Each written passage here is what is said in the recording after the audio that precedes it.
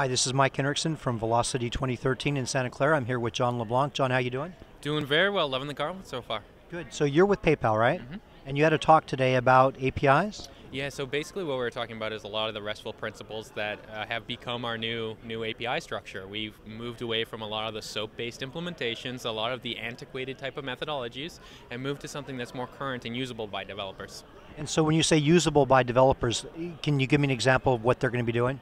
Sure. Uh, so within their new PayPal infrastructure for the REST APIs, they'll be doing things like credit card processing, direct credit card processing, um, the PayPal processing, a lot of uh, things around refunds, storage of credit cards, auth capture. So the traditional things that you would think around building an entire commerce infrastructure.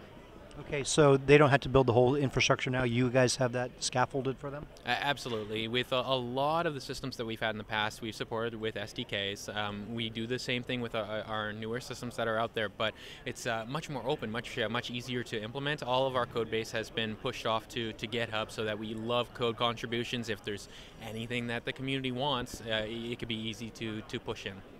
Do you do you know what language people use most when they're interact or uh, using your APIs? Is it JavaScript or what? Oh, absolutely. So there's uh, usually four main languages that people work with. Uh, uh you know, .NET frameworks. You'd have um, Java.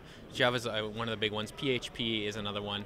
Um, so those, those tend to be uh, quite heavy. we have some more Objective C work coming in, our native mobile SDKs. But you know, between those, we have a good infrastructure. However, we are supporting a lot of um, newer languages like Node.js ourselves, uh, strictly because the people that are building a lot of the Raptors, like like myself, um, you, you work a lot a lot with those languages and love them. Right. So is the Java part also because it's with Android as well?